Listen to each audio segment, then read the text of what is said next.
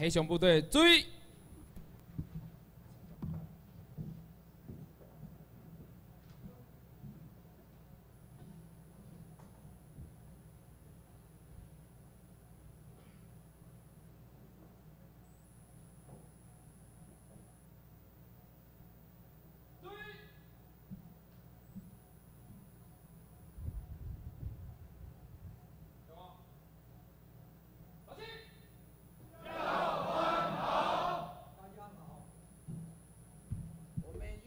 同心又是同学哈，我们今天有信秘书长的指示啊，叫我来犯罪中环学。但是犯罪中环学里面，我们一定要知道什么叫为什么警察可以做犯罪中环的工作。所以，我想他们已经有先发给你们各位啊，但是前面我都是原则上都是总则的，也许。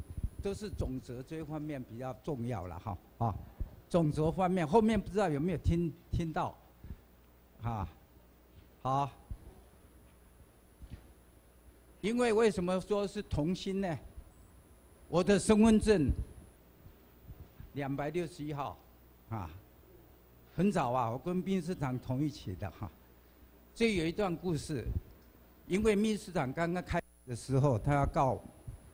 美国成功以后，我曾经请示过他：为什么你向美提告示美国联邦司法怎么会受理这个案子？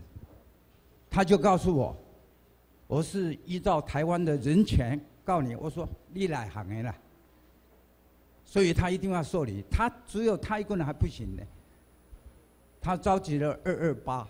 就是两百八十，这样子他去告诉受理，结果还是他赢了。两百零六年开始告的，然后两百零八年成立台湾民主，两百一零年就是美国核准成立台湾民政府基金会，就一路走来就是照规定。好。今天我们我大概一点哈，因为一个半小时要大家有有没有在检察机关待过的人或者服务过的，有没有请举手一下看看啊？还没有哈？那有没有学过法律的法律课程的？请举手一下，好好谢谢谢谢，我知道这个法律啊，不是随便。要依法，为什么要法律？就是要依法。首先，我们要知道法律要位阶，它的位阶就是说，比如说在中华民国当局也好，或者托管地也好，它的体系下，为什么来讲宪法是最高法律哈？任何法律不能跟它抵触。再来就是法律跟条例，法律条例就是要。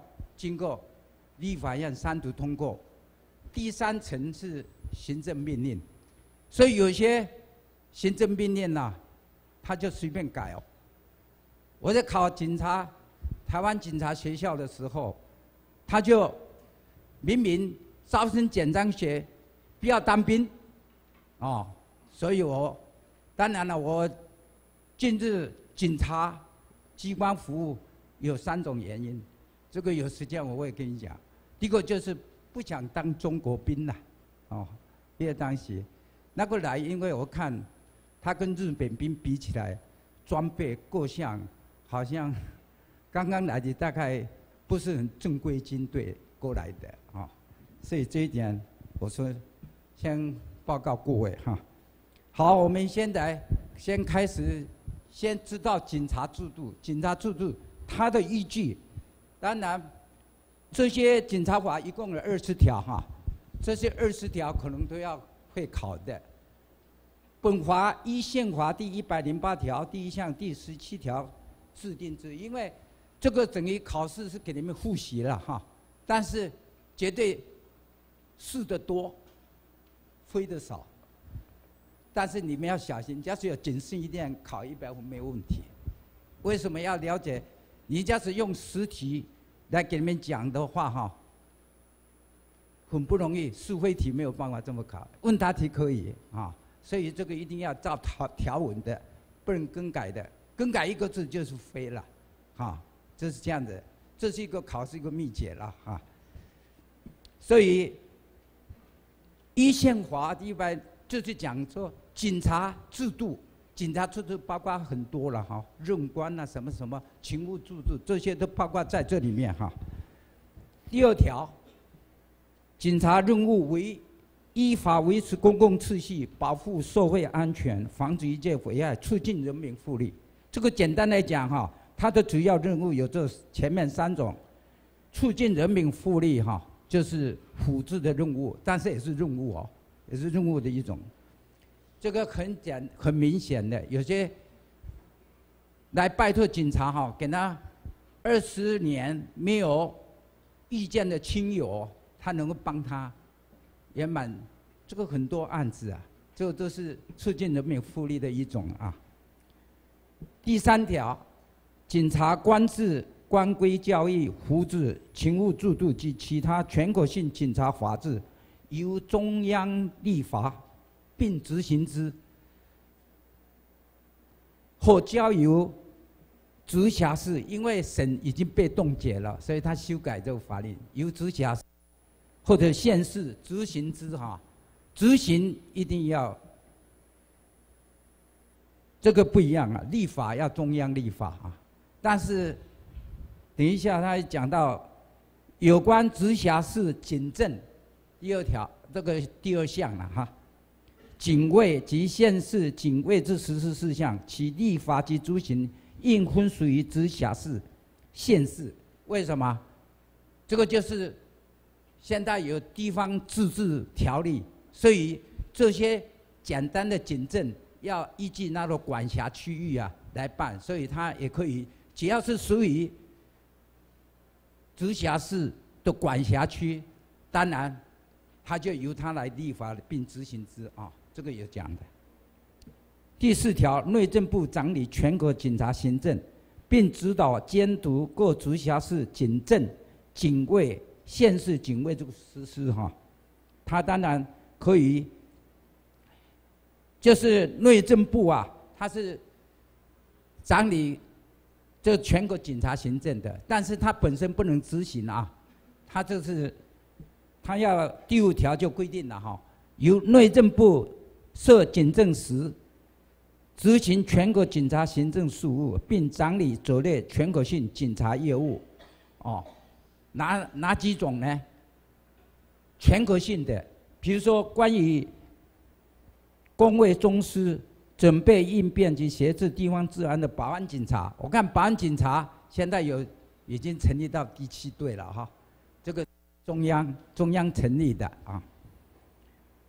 第二些第二款呢，关于保护外侨及处理涉外案件的外事警察业务，这个本来这个事情也蛮多的。我有实际的案例，我跟在中华民国跟美国还没有断交的时候，美国在台湾他不接受中华民国的宪法，他是有一个在华地位协定。这个有时间我会补充。怎么去处理这些问题？哈，实际上的中防犯罪里面，第四第四款哈，关于预防犯罪及协助侦查内乱外患重大犯罪之刑事警察业务，刑事警察局现在警政署有这个刑事警察局，是它的次级单位哈，它这个专门协助侦防犯罪的啊。他是专门是设这个刑事警察局，但各位就应该晓得啊，有刑事警察局。关于一关第五款啊，关于防护连跨四省服及警卫跨海之水上警察业务，这个在我们高雄还没有，只有只有一个台湾嘛，小岛哈都没有成立这个。关于防护国营铁路有铁路警察局，对不对？航空航空警察局，啊，你们去晓得。公矿公矿有保安大保安总队啊，森林、渔业等事业设施的各种专业警察业务啊。好，第六条，前条第一款，保安警察亦有必要派往地方执行职务时，应受当地行政所长之指挥监督。这一条，这次协议啊，所以太阳花协议就发生了哈。他有保安警察来派驻给这个松山分局长，这个应该由分局长有指挥监督的权利，他们都推了哈，推来推去哈，有些不敢承认哈，所以这个不对的，他要受这个保安警察总队长，他派驻到那边的话，就要受那边这个地方警政所长来。来指挥监督啊！那个刑事警察呢，接受当地法院检察官的指挥监督。为什么他可以？警察为什么可以犯罪中管？他是原则上，警察有规定哦，他是协助侦防犯罪，协助侦防犯罪。他假使，所以我们现在变成都是。变成协助变成主办的了，有些所以这个这个没有照做法令，有时候自己吃亏的，啊，你应该是一有刑案，应该通知检察官。这是我实际担任这个刑事组长的时候，我就是第一个有重大刑案，我就先报告检察官。事实上都是我们在主动办的，但是有个侦检察官呐，给我们做主的话，一切都 OK。我要收收票，以前都是检察官发的，现在要到法院申请的，啊，逮捕了、拘提了，种种的，我都是报告检察官，检察官甚至于我请他到我办公室。借我的办公室开临时庭哦，我在旁边看哦，很很，啊，我给检察官讲，我说我没有看过这里面的内容，其实我看过了，我看过内容，我直接交给你怎么办？因为一有棘手的问题，比较有棘手的问题啊，我都会请检察官到场，啊，这一点，所以这一点很重要。还有其他呢？有这个由各该事业主管机关啊，各该事业主管机关就很多的森林警察啦，现在有什么电信警察啦，还有各种警察，都是要商整内政部成立的，这个也可以啊。这个专业就是专业警察。第六条，这个第七条被删除了哈。第八条就是直辖市政府设市警察局。那内政部受什么？警政司对不对？这个它里面警政司里面当然也有次级单位了啊，比如说它有刑事警察局啊、保保安警察总队啊，这个都是警政属属于警政署啊。那这个直辖市呢？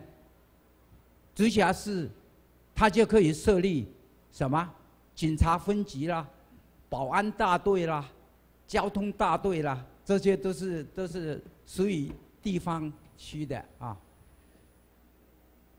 第九条，警察依法行使责任之前哈，发布警察命令，违警处分，这个来讲是比较，也许大家比较不清楚哈。但是这个这第三款呢，就是协助侦查犯罪啊。所以我们犯罪中防协就是根据什么？就是根据这一条啊，协助侦查犯罪。只要我重点的一定，我相信他会必考的。所以你们这个要注意哈。还有执行收受扣押、拘提及逮捕，这一条也是检察官的指挥。现情况，我们警察可以逮捕；准现准现情况可以逮捕。以前我们警察很多都没有叫依法。什么叫没有依法？不是现行犯，你把他逮捕移送法办。有些检察官就把你犯过当犯罪，这个安全妨碍妨碍自由给你起诉哦。因为你也没有给他申请收车票或者机票，你警察就逮捕他，不是现行犯会现行犯。当然，他刑诉法有规定，我曾经抗议了，不能这样子做了。警察哪里有现行犯好捕啊？很少的，所以他里面成立了一个进行集体。那进行集体的就是说，我问老百姓，问谁，你逃跑了，就可以逮捕你回去。虽然这个没有犯罪哦。所以里面当然这个深一层呐，在刑法里面我们不在我们现在讲的范围内啊。这个还有行政执行哈，这个在比较勤务的时候执行勤务的时候这样的，使用警戒，这个使用警戒也相当重要啊。使用警戒我们警察都是使用错了，就是谐音的，我会告诉你们在警戒使用条例的时机。就是原原因呐，为什么可以用这个？它有胁迫跟危害。那他们学学艺有没有带什么东西啊？学运呐，你可以打人吗？不可以的。所以他们现在害怕了吧？他们有几个专家，他不直接告发给检察官哦。他们这个内行的，要是来问我，我就告诉他，你可以注释。所以他就告，他没有诬告罪。他放心好，他有事实认证的，所以这个律师团组成一个告这个行政院长，告这个警政署长，告这个分局长，告警警察局长，这四个大头杀人未遂罪，啊，当然了不一定成立，但是他头痛，有时候讲来讲去，他分开跟他询问了，哦，所以这一点哈。这这一点你就知道，自己不说话的话，将来很麻烦的。人家假使有给你拍照，一个警察，除非你警察自己承担呐。说我自己情绪坏，我这这害我，害我好几天都睡不了觉，所以我会打你这这这气啊。上面有过失了，但是不足犯罪了。那假使他讲是上级可以命令打的，上级是哪一个？他也要。同等的罪名呐，所以不好玩呢。这种警察不能干，啊。再来是有关警察业务是保安、证实、交通、卫生、消防、救灾、营业、市容、户口查查、户口查查这个要外事处理，这个都是社会案件的处理，这里面的其他应执行法令。第十条，警察所谓之命令或处分。如有违法不当人民依法得事情行政制，这个知道就可以了哈。检察官职裁分立制，其官等为警监、检政、警佐。我看这个不是警佐是不是检检察官呐？警员是不是检察官呐？谁知道？警员、巡佐是不是检察官？他是检察官呢，他是像这个警察法规定里面，他是得裁警员制，所以您要修改。你假使要用用名字，比如说刑事警察，他就改成侦查员，好好听吗？警员也是一样，警员现在警员都我们都知道，警佐警佐有一颗星一样，这个这个警察有一线一颗星，现在很少看了。一线两颗星很少看了，现在这一线三颗星干几年了？他是经过特种考试、高等特种考试通过的，所以他还是他还是警察。以前我是从讲一线一颗星比较懂了哈，因为那个时候还没有实习生呢，实习还没有经过特种考试及格了。所以，我等到我到警警警官学校毕业回来，我还是也带着带薪受训。所以我回来时候是一线，还是在一线两颗星的外事警员，但是呢，很多不要说我们自己外国人不知道，但是他都很尊重我们哦。他就讲，对警察来讲，他是 police officer，每个人他都是很尊重警察的，这是检察官哦。他呢，以以前这个美美国的军舰呐，驱驱逐舰呐，都是到高雄。高雄来放假，但是第一没有来过进来的这个军舰哈。第一个我们要先去拜访他，告诉我们这边的风俗习惯，一切所必须要知道的告诉他。结果有一次我跟主管，主管是两线一个新的警警政呐啊，我是带一线两颗星的肩膀放在肩膀里面呐啊看。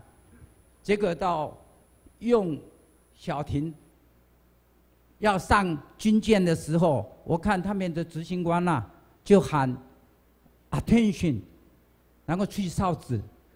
哎，我看不太对呀，他这个很严重，他就叫 attention，叫大家都注意哦。他说 two star general alignment，他把我当做二星将军哦，上去哦。当然这个戏我演下去，为什么？这个是国际礼仪，所以那个中校的舰长，他就出来门口等我开始敬礼，向我敬礼啊！我是上驱逐舰，向向他的船尾，为什么向船尾啊？他是美国国旗，向向国旗敬礼以后，再来回他的礼，变成我大比他大。其实我是警佐，是等于委任官了啊。他是中校，中校级等于是见文官是见任官一样的，他比我大，但是我这个主管也是要配合演呐，所以上去哈。那个，但是我上去以后就到 VIP 弄就告诉我，我就给他解释这个警察阶级是怎么样，那就没有问题了，就没有失礼啊哈，一定要给他搞，给他说明的啊。那这个就是官等，官等是警，知道吗？警监是三线，他是讲一线，一线呢是等于警警佐，警佐就是委任官呐，就是在军队里面就是等于这个尉官呐，就是等级就这样子哈。啊那个警政就是等于检任官，检检任这个检任官。这个警监就是这个这个检任官，就是这样子分了哈。那当然一颗星是四阶，他是讲应该是警政二阶啊。像我刚刚退休就是警政警监二阶，警监警监二阶就是等于他们就突真的 two start in 了啊，这才是 two star general，不是刚才一线的，不是。Two star general 啊，这个大家了解一下啊。警察，你看这里第十二条，他就说明了哈，他个警察基层人员都采几年制嘛，对不对？刚才我讲过了，这个第十二条，它是规定给你规定，你假使要想一个更好的名词来。代替几年的话，你要修改宪法，修改这一条法令，修改法令你就要立法院三读通过嘞，啊，比较麻烦啊。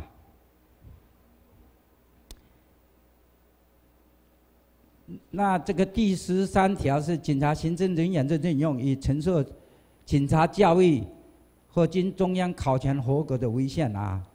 第十四条，刑事警察受检察官的命。执行主如有废除主务情事，其及主管长官应接受检察官之提请，依法以惩事。所以检察官命令警察侦查犯罪之说不能代付的啊，他可以申请处罚的。所以中央第十五条，中央设置警察大学、警察专科学校，这是。地方不能设警察大学哈，第十六条，地方警察机关预算标准按中央各情形规划之，这个了解一下啊。第十七条，各级警察机关之设备标准也是一样，中央各级警察机关、警察大学、警专，这个武器弹药统筹的也是由内政部啊，但属于中央的。本法实行细则，内政部第十二条，本法自公布日施行。这个警察法目目前有没有不了解的地方？这个警察法等于是母法了哈，怎么警察制度就是依据这个来定哈？没有关系，就是我们有时间，这个，所以我们。这个指示我一定要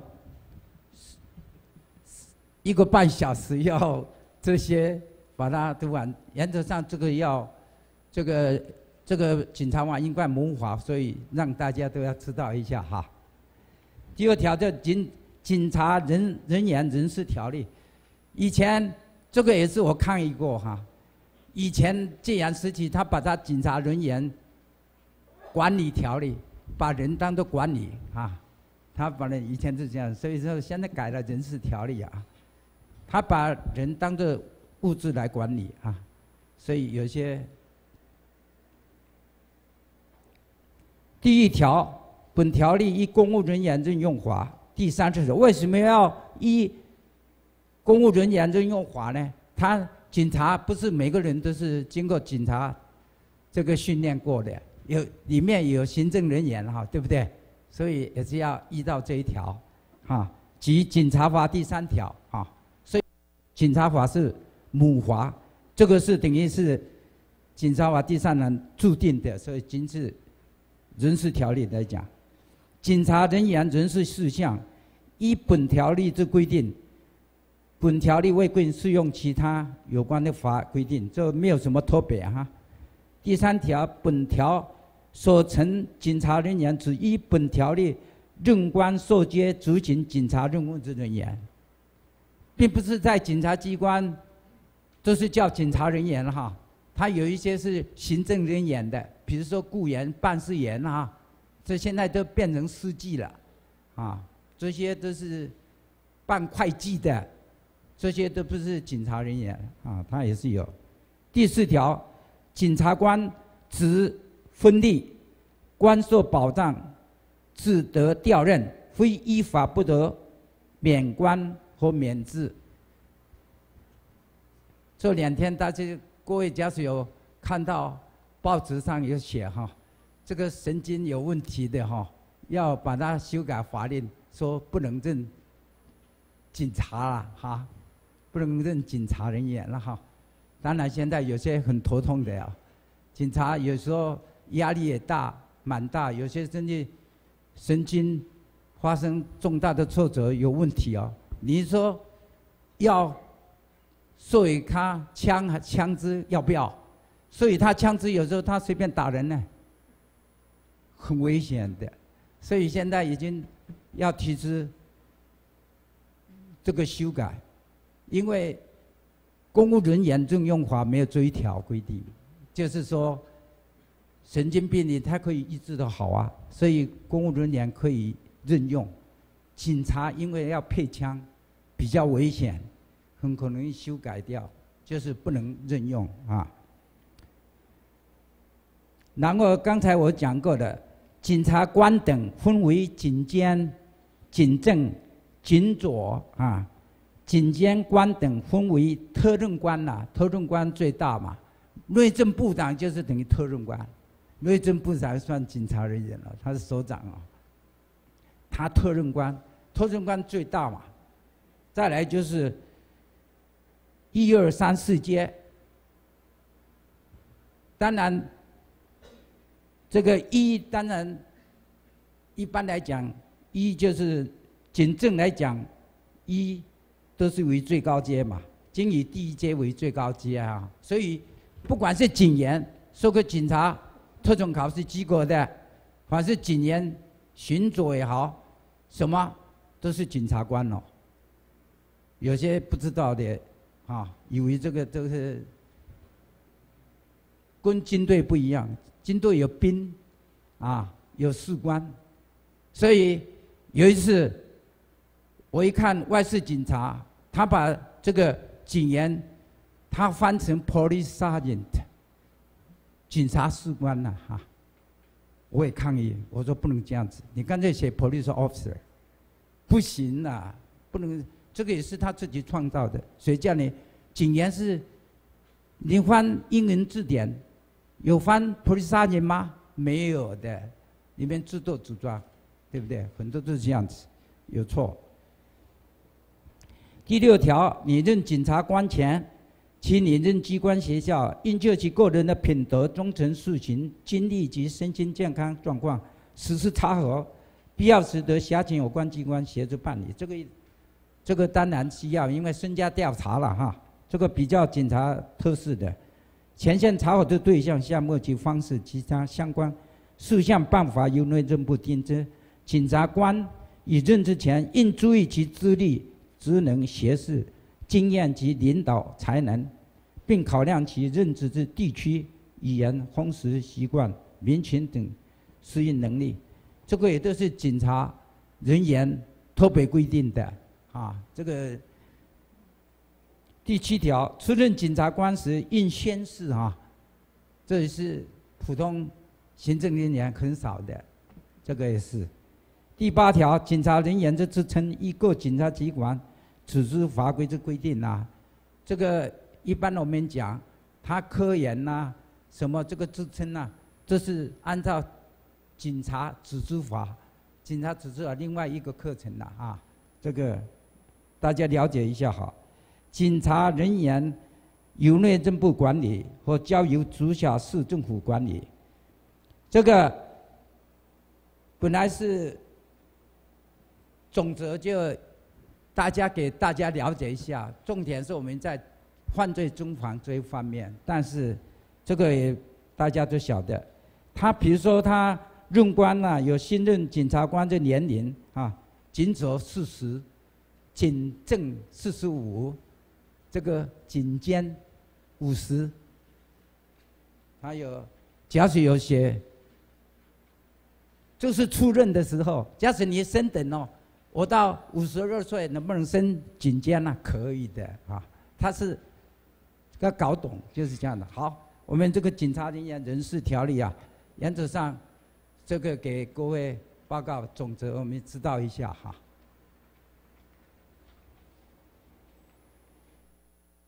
这个再来就是警警察警察警戒使用条例啊。警戒使用条例，哎，世界上啊，可以没有军队，但是不能有警察，不能没有警察啊！你晓得，这个警察在每个国家，不管哪一个国家，通通有这个警察。你办，尤其我们黑熊部队啊，将来你要主导或者指挥或者执行，更要知道这个内容呐。有时候。在还没有主政以前呢，你也是大同小异。你要看一看，我听秘书长指示哦，将来我们原则上犯罪哦，不关的。我说这个实在是聪明的抉择。为什么？他是用鞭刑呐，鞭刑目前在新加坡有在执行鞭刑呐，打屁股啊，啊，那个很重的。打一下你就五六天的这个，有的会流血的。当然他用机，以后不是用人呐，用机械的。哎，机械的他在看这个人，给医生看，能不能承受重大的打击？一次可以打几次啊？两次，不要说一次。我看新加坡我也去参观过啊，嗨，打一下，就好屁股就好痛啊。那你明明晓得犯罪中防，什么中防啊？你抓来打几下，看他，哎，有些还是要犯罪的。我看，所以这次他有一个新冠演习在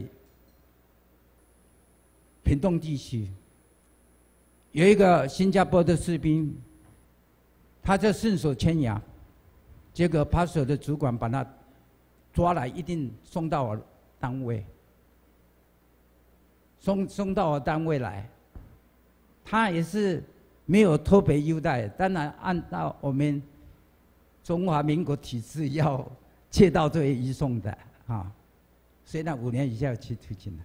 结果他们指挥官少将就来找我说，能不能给他们，因为他们晚上两点飞机要飞来带这些士兵回新加坡，能不能？给他交给他来处理啊！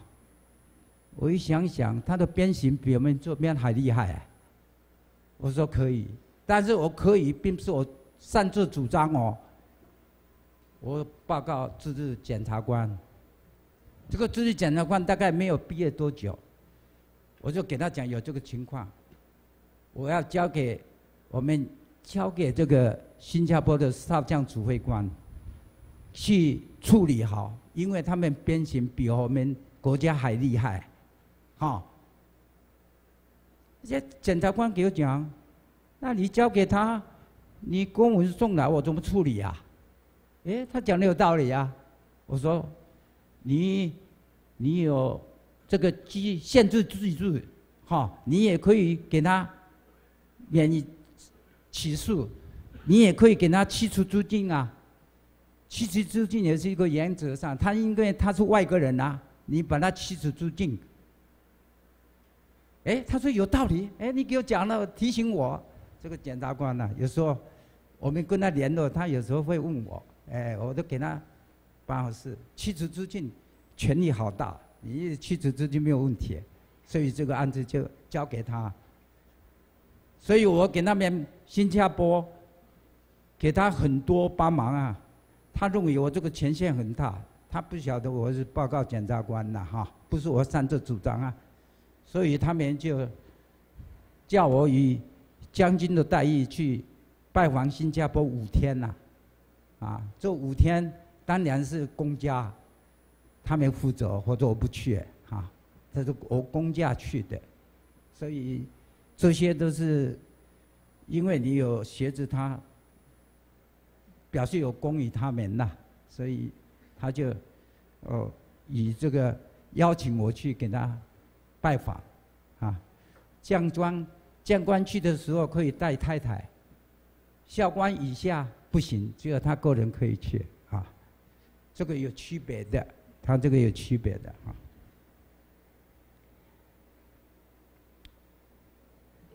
这个这个警。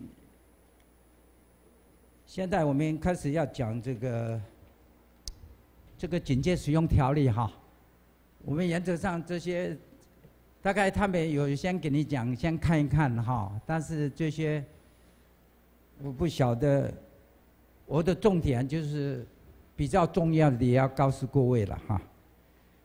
警察警戒使用条例呢，它本来它本身就是母罚，也就是主罚。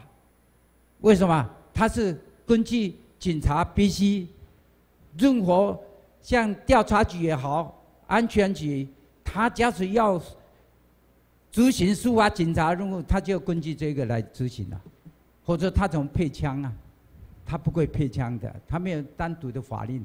这是指在警察机关，因为他要侦查犯罪，他要逮捕犯人，所以他有特别的这个条文来给他们讲。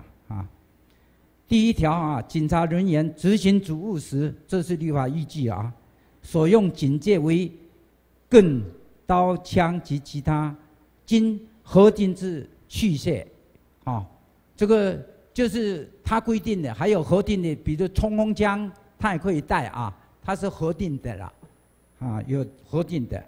警察人员依本条例使用警戒时，需依规定穿着制服。或出示识别证之警徽或者身份证件，你像便衣警察、刑事警察，他一定要有这个服务证哈，他要主动的出示给人家看，或者你这个是流氓啊，这什么随便，现在这个诈骗集团很多，随便的他出示随便都可以这样子做，啊，以前我是外事警察，但是我派去分局，他要给我换掉一个红色的刑刑警警察，那以前的刑事警察不得了的，做那个纵贯线呐，光打回下不要钱的，但是呢，我不要。我不接受，他说你不接受，你干刑事你怎么办？便衣，你要去处理逮捕人，你要出示证件呢。我说出示证件，我出示黄色我的外事警察的服务证呐。他说不行啊，你外事警察服务证，人家不认为你是警察哎，哎你哪里这样子啊？哎，真的这样的，我去逮捕人的时候，我出示刑警，他是红色的服务证。我去给他们看，是黄色的，用英文写的，啊，还有英文写。他说：“你这个不是警察，哇！”他对我抗拒呢，他不让我逮捕呢，哎，不能逮我，还好我有写过，我说两段的柔道啊，所以我还是逮捕他，因为我不是假的，我逮捕他回去分局以后。我说我是不是警察？哎，是是，你我是不是刑事？他是是是是，好。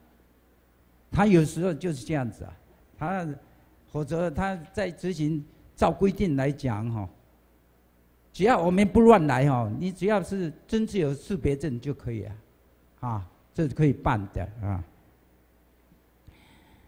这个第一项的警种类规。这个警察人员执行职务时，亦有下列各款情形之一的，得使用警棍呐。但是警棍来讲，比较，比如说，指挥交通啦，疏导群众呢，戒备意外了，这个里面是各款情形之一的这个，啊，这个警棍是比较可以可以使用用警棍来指挥交通嘛。现在他们都用。晚上都是用那个那个有灯光的那个什么来 来来指挥棒了啊，用这个代替了啊。凡是你不伤害到老百姓都没有问题啊，老百姓那就要依法追究了啊。第三条，警察人员执行职务时，亦有下列各款情形之一的，都使用警棍制止。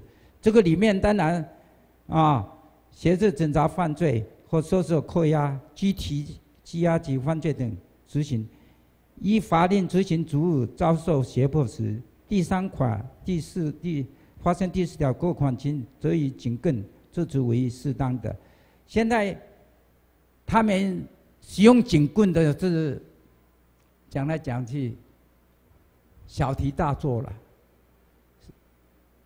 学生来学艺的话，他也卖，你认为他是？把他当做犯犯罪的人提法吗？你看看，香港，他是中华人民共和国管辖的呢。你看那个警察，对于战区人员，他没有带什么棍棒警，他是两个人好好的把他抬走嘞。哪里我们这样子这么厉害？没有这样子的，啊，所以我们这个还要加油了。我们等到我们民政府执行，绝对不会有用这个方法，啊，来想想。好，这个这个第四条是比较重要哈。第四条这个就是怎么使用警戒哈。这个里面我们当然都是警察人员执行法令的时候，有时候经常错误啊。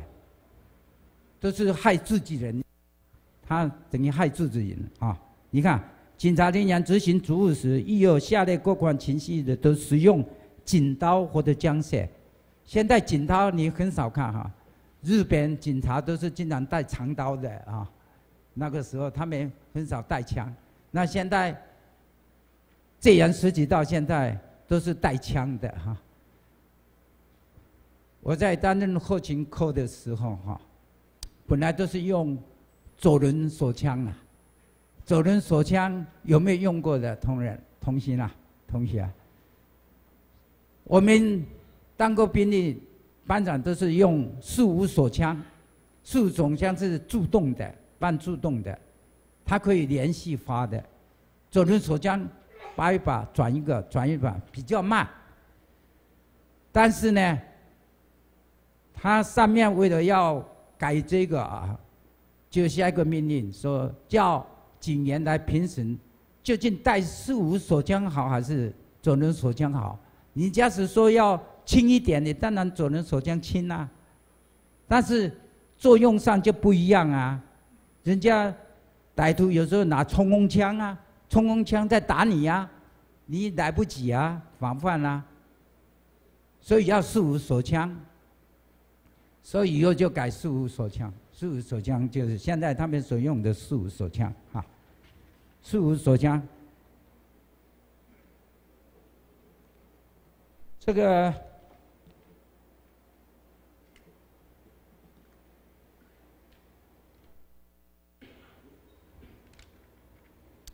这个一共警戒使用条例，我们一共有十五条哈。有十五条，这里面哈，第四条我给他们这个第四条等于是警察使用枪械的动机或者原因呐？为什么要用这个枪械啊？这个要特别知道哈。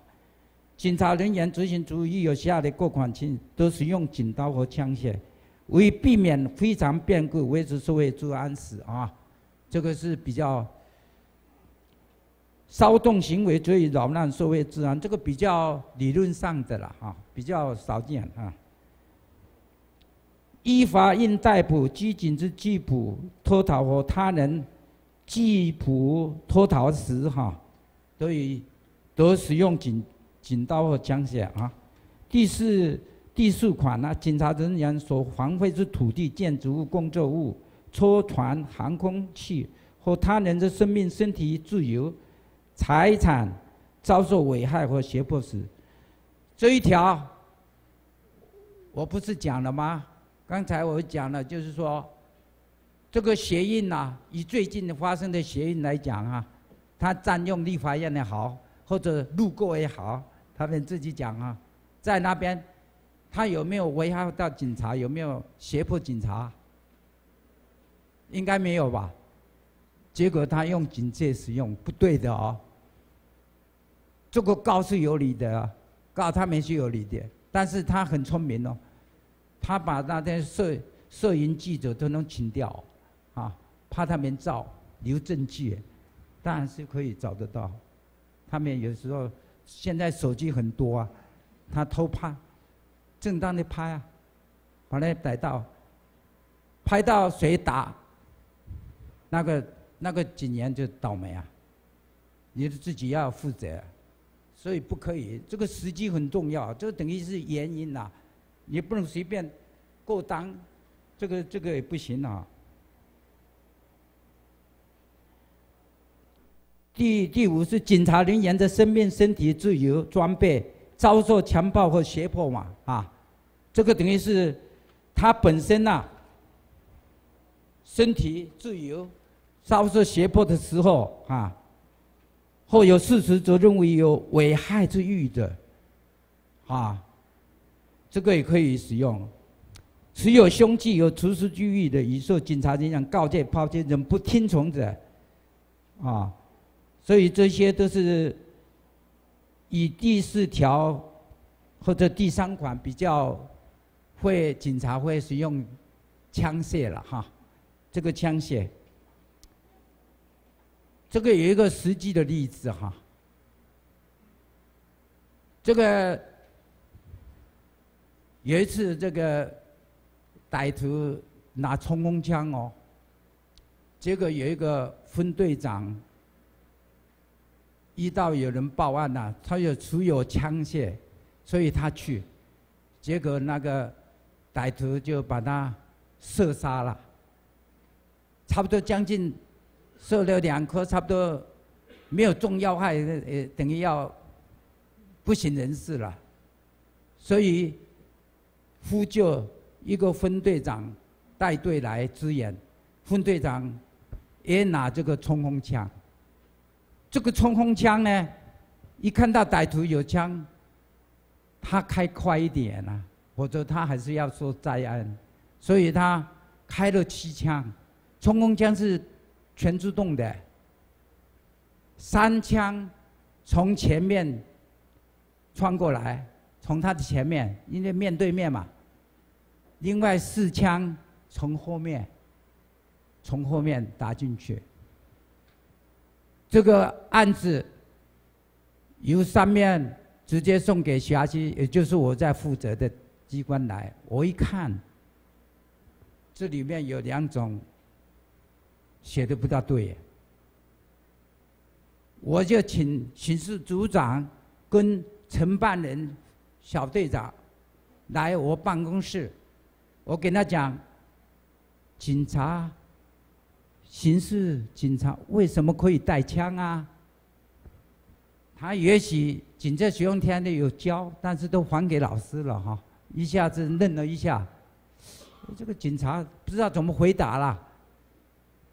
我是不是根据警戒使用条例啊？哎，是是是是。那警戒使用条例这里面第四条的一至六款里面哈，是哪一个？他写那个犯罪侦查报告是要送给检察官的时候，他写基于公务上的防卫啊，公务上的防卫，这里面六条有没有公务上的防卫啊？没有，没有公务上的防卫，你写这个公务上的防卫，检察官不给你起诉才怪了。违法，没有依据这个警察使用条例啊！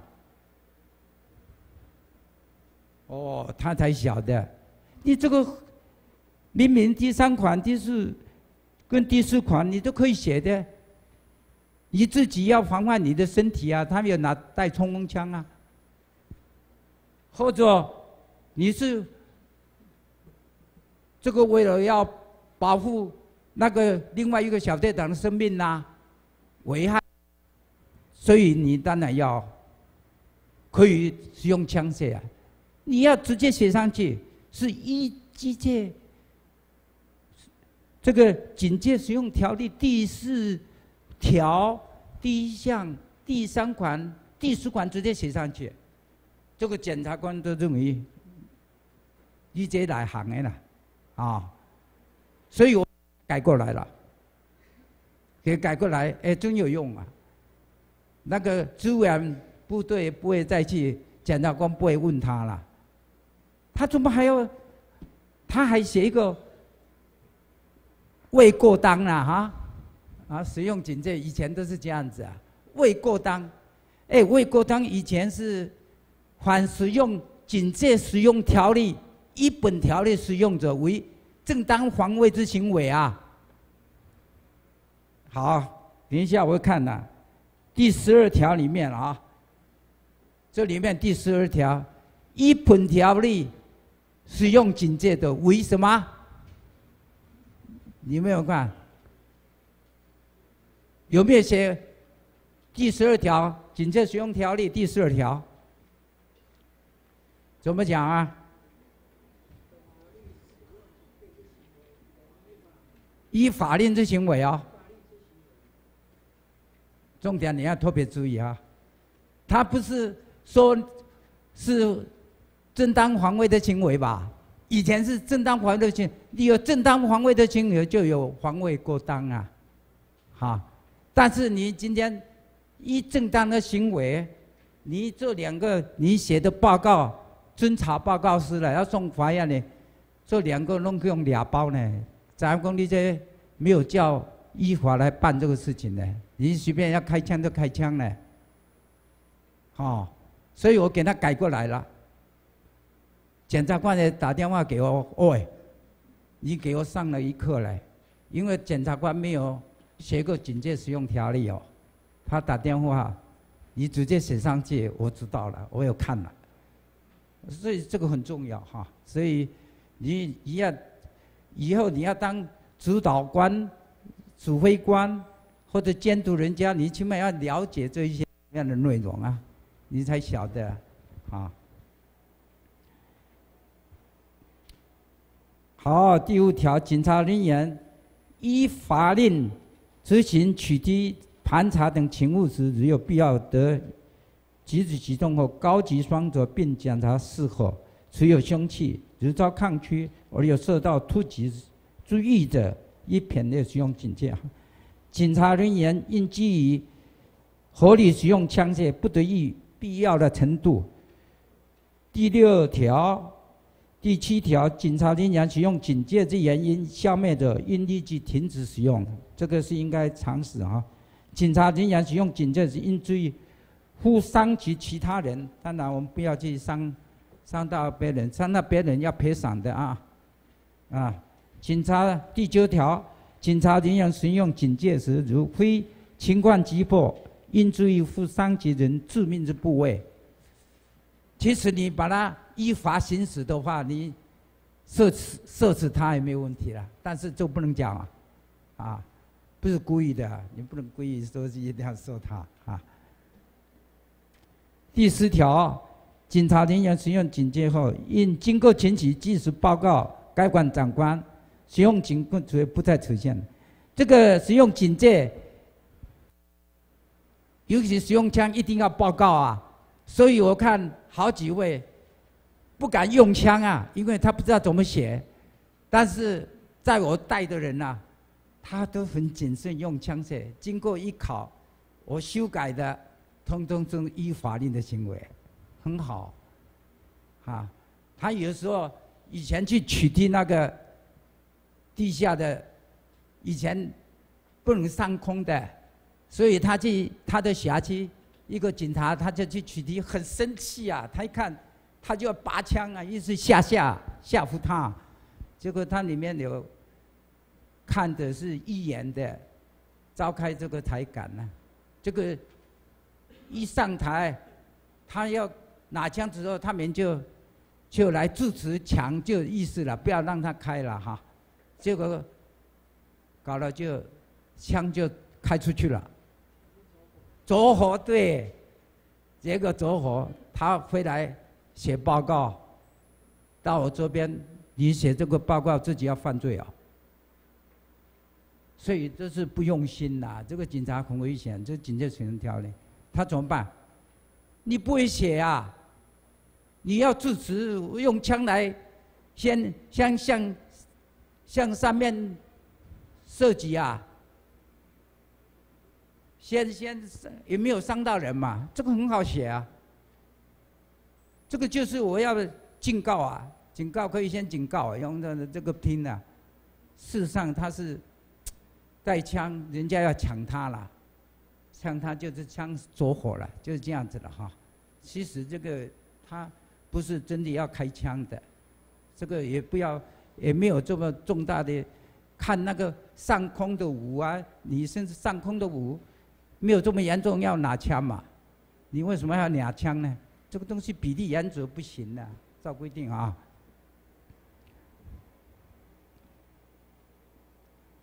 你看这里第十三条就讲了哈，你看不要司法警察人员及宪兵执行司法警察，宪兵可以带枪，也是根据这个啊，他自己没有制定法令了。那军法警察或者军内这么核准制自卫警察，他可以带。但是哈，平常他都不带，因为他没有有些诸位警察没有受过真正的警察教育了，所以他现在电击棒差不多哈。第十四条里面他说是警戒非境内政府授权的警察机关许可，不得定制啊、售卖或持有，或者警察机关末日啊，强项规定的定制售卖。规定许可、申请、审查、滞销，这些都是做参考一下。第十条，本条例之公布日实施，它这个法令有规定，最后就是说公布日有有些是要公布一个月或两个月，有这种比较重要的就是这样子。但是这种急需的药独特的，它就公布之实施日实施啊。好，这个这个原则上啊，这这些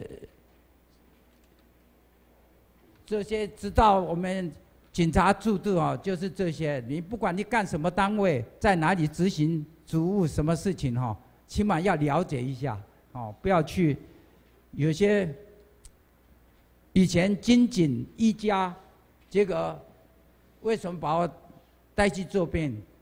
他是修改行政命令啊，哦，一样去，所以我陆海空军我都待过啊，我去都是做领导一样啊，但是哈，这个行政命令他可以随便改。我们先讲一讲这个这个社会秩序维护好不好？社会秩序我们民主政以后，我们有一个。这个社会秩序保护法啊，这个以后我们假使真整治，诶，可以说是比较多，也不一定比这个比较多一些，反正很好了。这些都是为了维护社会秩序了哈，所以一定要有警察来维护。这个小小事情，但是打架了，两个打架了，来这来来来报案呐，或者有些什么事情啊，就是这样子。我们原则上以做这个总总则哈，来做一个说明哈。一个是法法律哈，这个就是第一条，它也是这也是单独法令为警察而设立的哈。你要警察，你要干什么？你扮演的角色，当然你是要依这个任务来警察法任务来实施嘛。所以他就是那要怎么？他有要一个规定呢，又分则，就是说，哦，你违反打架，为此伤害者，哦，我给你拘留三天，哦，就是比如这个这样子啊，所以这个才有这种规定。第一条是违，他成立社会秩序违法，第一条就是维维护公共秩序，确保社会安宁，制定特制定本法啊。都是立法依据哈。第二条，违反社会秩序行为之处罚，以行为本法有明文规定为限啊。这个里面就是，这是第三条，行为后本法有变更的，适用裁撤时的规定，但裁撤前之规定有利于行为人的，适用最有利于行为人的规定啊。这里面就是。你你，假使你要看这个考试啊，你原则上是的，都照这个规定。你假使有学过法律，那那比较简单。但是看里面，它假使有写这个适用，假使说适用有利于行为行为人的规定，但是有时候他考试给你讲，不要还是用。用这个最新的处罚，哦，他假使有末法有这个不利，有这个是才从轻从轻呐，这个意思是才从重新从轻主义了啊，这个里面这一条就是这样子。第四条，在中华民国领域内违反本法适用本法，这个一定没有道理，但是在中华民国。领域外之中华民国船舰和航空器内违反本法的，则于中华民国领域内违反任。啊，这个就是讲实地主义了哈。我们这个才实地主义哈，就是说实地主义就是在我们本国内犯法的，当然要处罚。那在国外呢？这本国的航空器件违反，当然也是视同我们本国的法律了哈。这个简，那这个里面，我跟这个美国在一起服勤务，那是叫做 Companion Patrol，混合混合巡逻。混合巡逻呢，也是 CIA，CIA 来给我报案啊，说叫我去美军俱乐部。逮捕人犯，我说 no，不可以。为什么说不可以啊？知道吗？他是美军俱乐部啊，有挂一个美国国旗，啊，那美国的国旗不是只有我们国内可以办的啊，所以我当然拒绝啊。那是怎么办呢？怎么办？很简单啊，你把他驱逐出境啊，把他带下来啊。我再派两位在蒙古把他接回来啊，就是 移交了。你不要乱，他不知道。有时候他虽然 CIA，他是他也许忘掉了，我都不不晓得这个国旗没有国旗，他的挂挂挂都好好好的看美国国旗，我不能随便进去逮捕人的。就像我们这里有这个本国在国外的航空器啊，啊。这个都属于本国内的，可以办的啊。当然，他可以办，但是因为他是见识，美军的见识不可以办，军军人不可以办这个案子，美军宪兵不可以按，就交给我们办。所以我叫他带下来，我们移交给我们办啊，这样子才合法啊。这个是一个例子。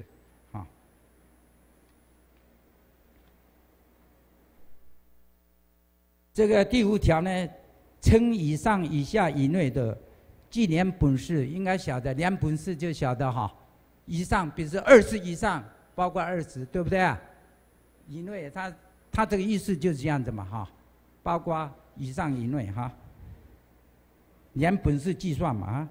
第六条，本法规定之解散命令、检查命令、禁止和劝止，应以书面为之，但情况紧急时，得以口头为之。沿着四面主义了哈，这是才四面主义啊。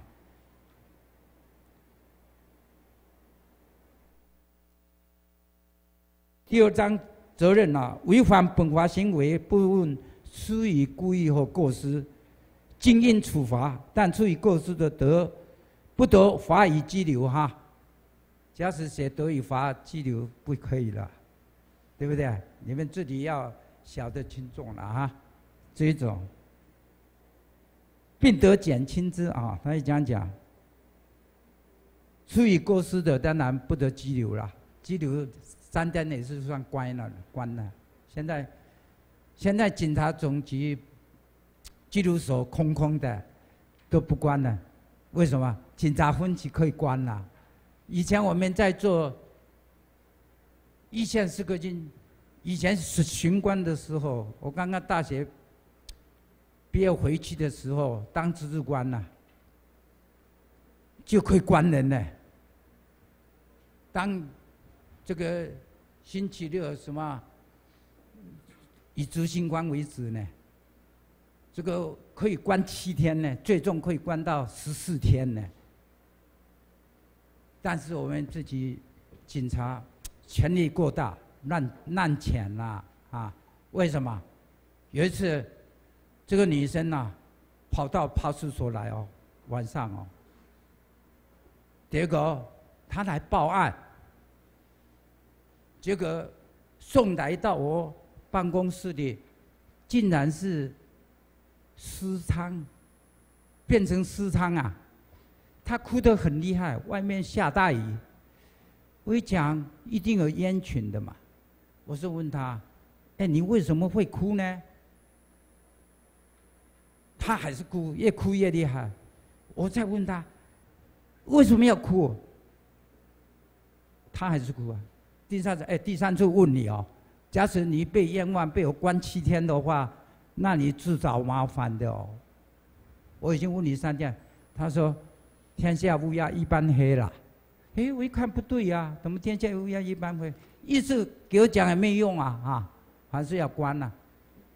我才不一样哦！你这样告诉我，哎，他他把裙子一翻了，但然他转过来，他一翻了，内裤没有穿呐。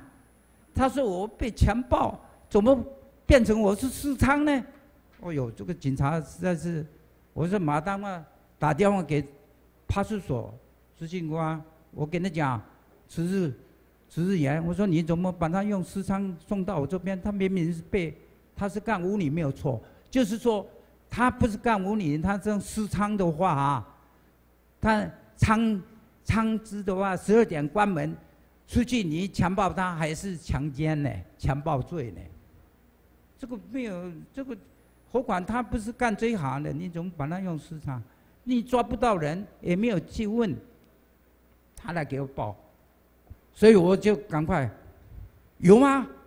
他说那个男生还在里面睡觉，我赶快跑出来，偷偷的我不敢穿裤子，就就跑来了。哎，我马上派刑事组的人员就去当场查获，把他带回来。本来他要被关七天了，后来我赶是变成被害人。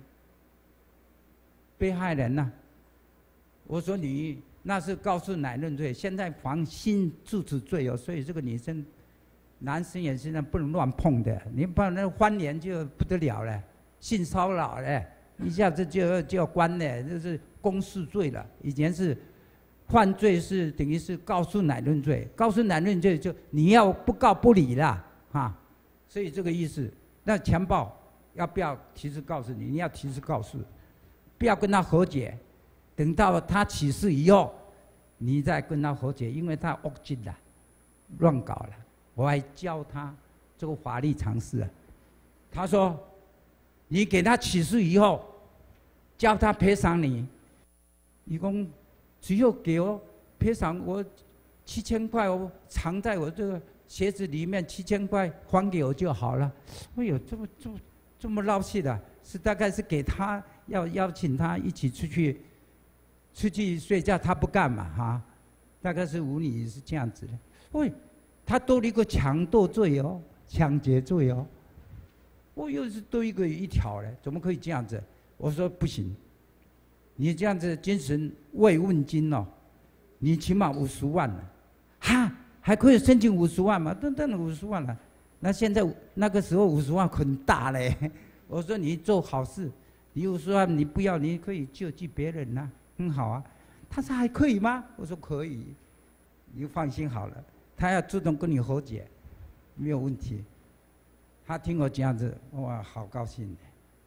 所以这个我们这个这个警察你要好，等于是良心工作，你也可以救人，也可以做好事哎。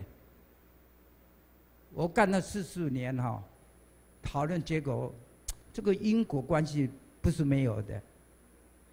我也出来，我自己检讨有没有利利用前前线呐、前世啊去做坏事情，结果现在还好啊，啊，没有这种事情，我只有照规定来，啊，照规定来你就比较好啊。像我这个年纪八十岁的人哦，啊，照规定来啊，所以不能乱来，他们做事情。要规规矩矩的，所以很多我教过的，现在都是青出于蓝哦。起码跟我同样阶级有当分级长好多，哦我会推荐人呐。只要他不乱来，起码我推荐的人哈都没有这个跟女生有问题的，贪污的更没有。贪污有的我主动叫他辞职，我都这样子做，啊，绝对没有。到现在好多。你不相信我，我所以历任的局长、署长升官的没有比我多啊。我都是推荐的，他们相信我，所以我推荐的很多，啊。所以干这一行，假使你会做的话，是会善用法令，但是不要乱乱乱用法律啊。乱用法律，你像现在江。院长还有很多人去保护他，开个庭，讲了又不对题，啊，没有时间沟通好，啊，他也不晓得法官要给他问什么，他也没有办法去联系的哈，也不好，很难看。好，我们这个原则上，我们把这个总则哈，都注意一下就。可以，但是这里面有才是拘留的或者什么哈，一一定有先告诉你们要先看一看。我看我考试，考试只有复习的，我没有那么多了哈。结果他们还给大概集是多少多少条啊？一两百条，我这个真是不得了啊！我自己都不知道哎啊，吃两百条没关系，尽量啊，他也不能把你杀掉了。这个要让人家知道，你要这个这个总则要知道一下。你比如说拘留一日以上三日以下，还有依法加重的，你不不可抗力之行为，我我我认为这个。总则比较多啦，总则比多啊，总则比较多了哈。你那个对于现在不，这个这个总则里面一共，这个要多看一下。然后其他，我记得他问我没有那么多条，怎么会变成两百条出来了哈？所以，所以他们真会考。你看有几位。考了三次的进所哈，每一次都不一样，当然不一样了。我要召集外事警员十位，十位外事警察另外自己考，我要召集十位。他们这个承办人给我讲说，要要十位警察，十位三三三位女警，七位七位男警。我说好吧，你就这样子嘛。哎，这个性别歧视哎啊！我为我很我很钦佩这个，我我很钦佩女生啊。现在女生外国当总统的很多啊，女生至上。我也用女警开始是我这个访问这个美国印尼罗州警察局啊。喂，我一去看啊，他们都是用面子做巡逻车。哦女生单独一位啊，带枪啊！哎，我问他说：“哎，你碰到流氓怎么办啊？”他就给我讲：“带枪，对不对？”我说：“带枪，你都可以随便用吗？”哎，我可不可以命令现场的人逮捕啊？那他们不不敢逮捕，不敢逮捕，我办他们呢？哎，他们法律有这个规定的，所以一个女生呢，哎，一个女生，然后我问他们分局长，我说。这个女生有没有问题啊？她是有孩子生产怎么样啊？她说有啊，照规定啊，是照照医生讲的，啊，几个月上班就上班，不能你随便就照照那个警察。她有这种倾向，所以我回来开始请请这个女警干外勤的，我也请他们去干派出所主管了，啊。所以他们去干的比男生还不错啊，照样的，哦，所以说这个，这个这个总则社会秩序维护法哈，这个里面你你们不知道有没有？他有叫你们先看过吧？就到。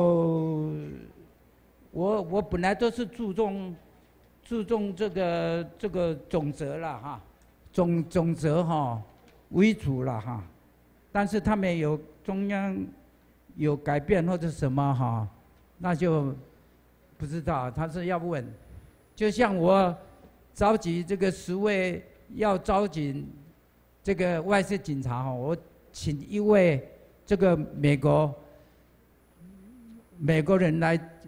这个做做面试啊比较好啊，我在坐在旁边，那怎么问？他还懂得用 A B C D E，有五个版本啊，所以有一个人首先进来的，先问，先首先问的，第一位出去，第二个就问他，第三个马上问他，都是问什么？哦，问什么？结果第二个进来，他用 B 版本呢，就是这样子啊。有些就是，所以所以有些不知道哈。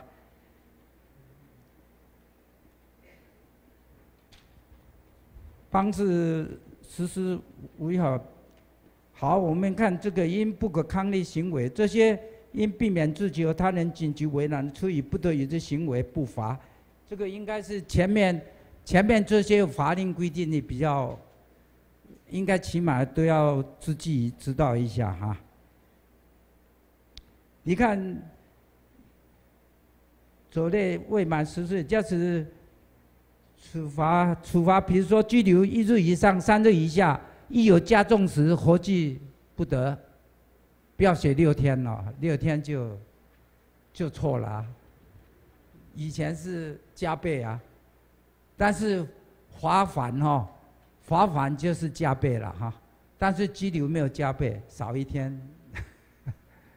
做考试有时候他会这样子转，他会转转这样子。尽量了，你们尽量去做哈，罚款。哦。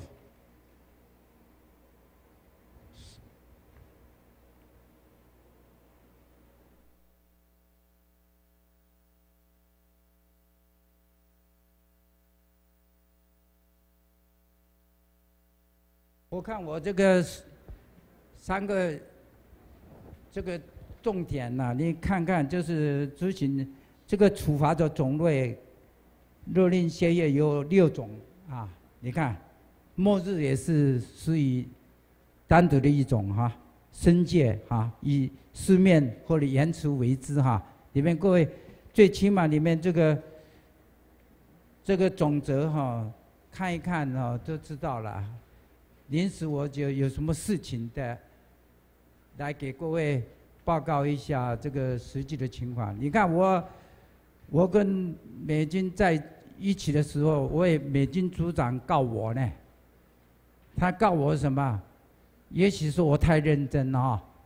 他说告我说我命令他们美军宪兵闭口。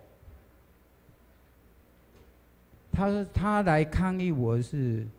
为什么你叫他是混合巡逻？为什么你叫美军宪兵、宪兵一起配合，大家互相尊重啊？你命令他有没有？我说有命令他不要不要讲话。我我是承认了。他来告诉我，那时候还没有断绝外交关系哦。他就说，我有三点问题告诉你。你假使不能给我适当的回答的话，中华民国跟美国都外交关系将因而断裂哦，这个严重的事情。我那时候讲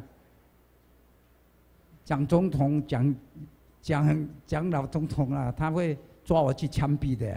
你这个事情假使因为没有处理好的话，所以他竟然来问我，我就。说好，请您请讲。第一个，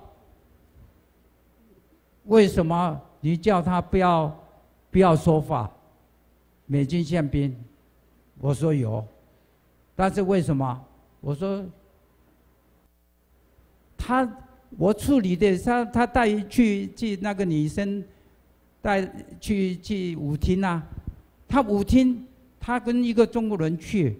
结果那个导游都跑掉了，人家把这个带回来，当然把他逮捕回来到我这边来啊。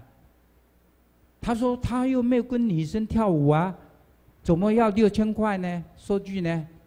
我说，他中国的风俗就是说要你开始去舞厅的话，就开始有叫女生的话，他就开始算时间呢，不管你有没有去跳舞不跳舞啊。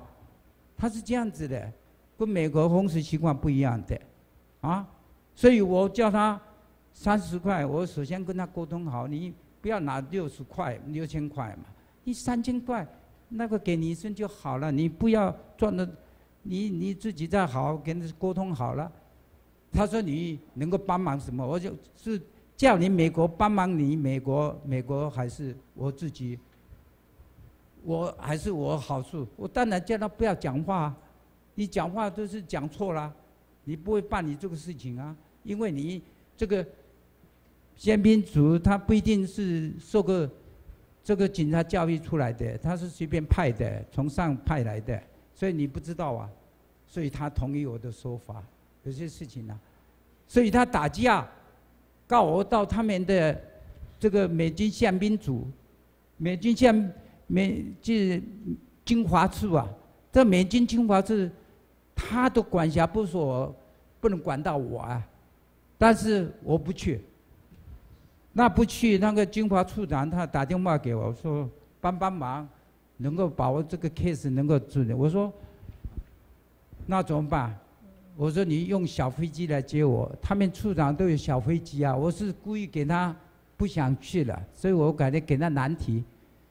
他说好，我马上派飞机到小港机场接你。哦，那个时候小港还没有经济还没有分开，还没有下开。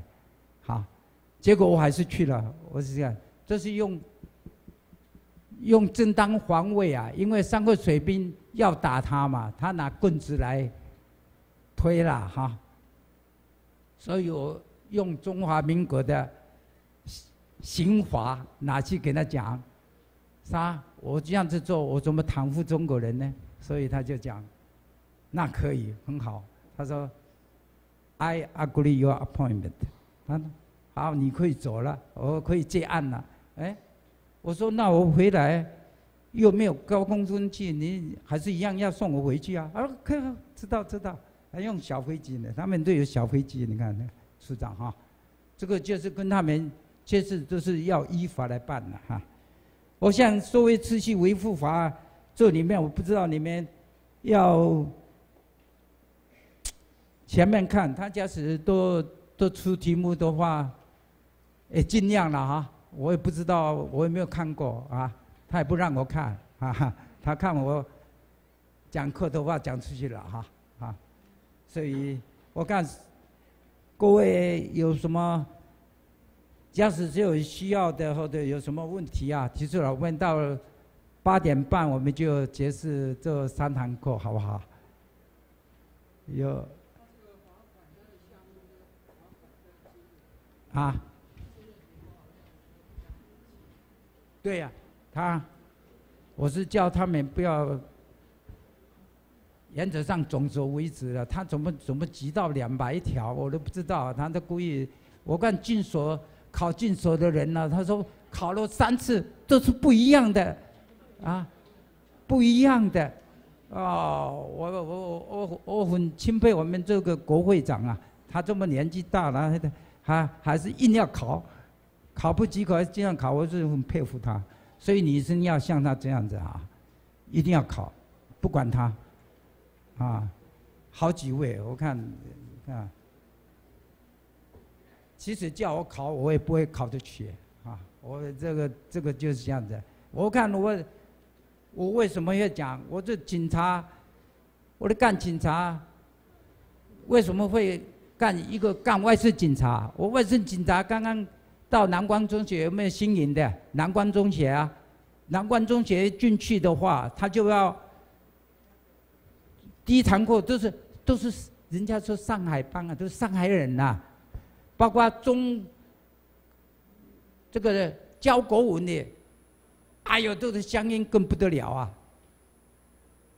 说标准国语都没有，他们讲国语还差嘞。他一讲，你看这个教我们国文的哈，他讲一句俗话，他就讲一个诗哈，我讲读给你们的，青的色白的影啊，娃娃是盖，有谁听得懂啊？这一句话，青的山白的云，花花世界他不念，结果我考考试。考了六五十六分呐，红笔写五十六分四舍五日也要六十分呐。我去抗议，因为他一科不及格就要留级的南关中学。他说算你及格了，没有问题。那不及格你不写六十分，写五十六分啊？就是这样子哈。但是我还好，一科还是通过了。好吧，我看有机会哦，有的。实力蛮多，但是因为重点就在这边知道哈，所以犯罪中环当然很多了。最好的中环方式就是你每件不能吃案，每个案子都可以破，这样子就是能够预防。那将来我们民众有有朝意用鞭刑呐，不要关的，要么就是死刑这两个，我支持我们秘书长的说法。好。谢谢各位，谢谢各位，谢谢各位。